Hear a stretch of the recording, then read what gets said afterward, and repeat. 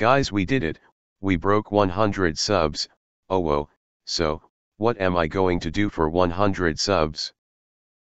I'm doing a Q&A, correct a questions and answers video, so if you guys have any questions type them in the comments below and I'll answer them in the 100 subs special, okay bye.